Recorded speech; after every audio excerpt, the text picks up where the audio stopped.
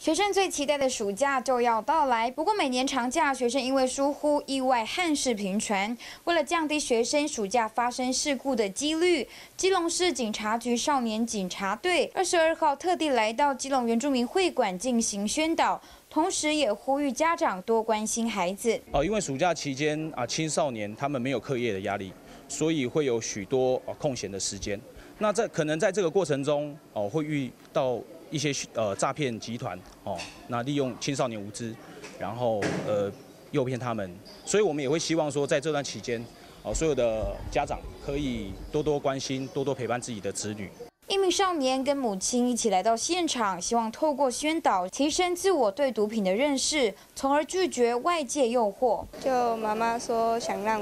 了解，就是尽量。多学一些知识之类的，就是关于青少年会出接触到一些朋友会什么毒品啊，或者什么之类的。像那种青青少年会就是有一些会会同才这些互相的那种，就是比如说他叫你做什么事情，就会说哎为什么我也要我也要一起做那种。